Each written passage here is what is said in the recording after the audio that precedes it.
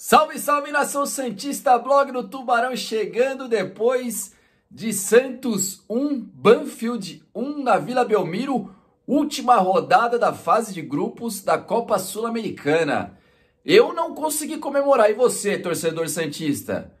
É, a cena que vai ficar na memória da gente é o momento que o União La Calera tomou um gol lá no Chile e o Bustos pedindo pro time, ó, era escanteio pro Santos, escanteio, escanteio, lance de gol.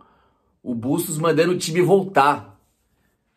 Sem brincadeira, alguém tem que avisar pro Bustos que ele tá dirigindo o clube que mais gols fez na história do futebol mundial. O clube onde o raio cai várias vezes, o clube que já parou a guerra duas vezes. O clube que teve Pelé, que teve Neymar, que teve Robinho, que teve Giovani um dos clubes mais é, marcados por jogar bonito no futebol mundial, no futebol brasileiro, no futebol sul-americano.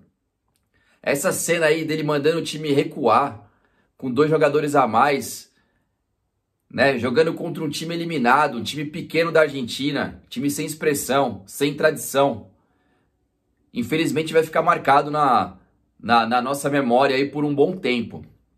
Eu, sinceramente, me recuso a comentar assim detalhes do que foi o jogo, do que eu achei, do que, que o Santos fez de certo, das poucas coisas que fez de certo, das muitas coisas que fez de errado, porque não dá, não dá para aceitar uma situação dessas.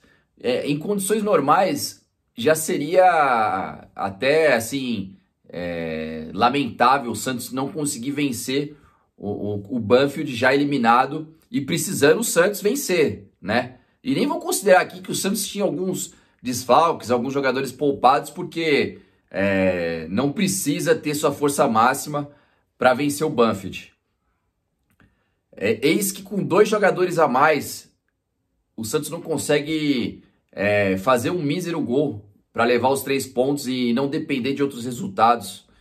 E, e como grande finale, a gente tem o nosso treinador pedindo para o time recuar. Olha, sinceramente, é, foi, uma das, foi uma das cenas mais vergonhosas que eu assisti, assim, como torcedor santista, foi, foi essa do, do, do treinador e comissão técnica pedindo para o time voltar, né? É, enfim, é isso que, que vai ficar marcado. O Santos se classifica, né, de forma até vergonhosa, né?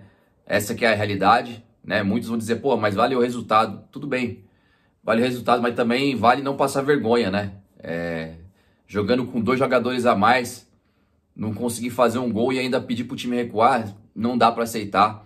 E esse é o único comentário que eu tenho para fazer a respeito desse jogo de hoje, né?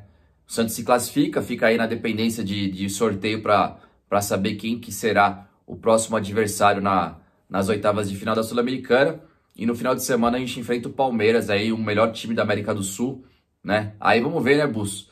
Qual que vai ser sua postura, né? Vamos pedir para recuar?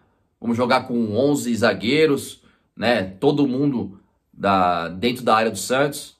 Porque se contra o Banfield você pediu pro time voltar jogando com dois a, jogadores a mais, imagina como vai ser contra o Palmeiras. Beleza? Grande abraço a todos e reage, Santos. Pelo amor de Deus, Bustos, esse aqui é o Santos bimundial, time do Pelé, time que parou duas guerras. Valeu? Acorda pra vida.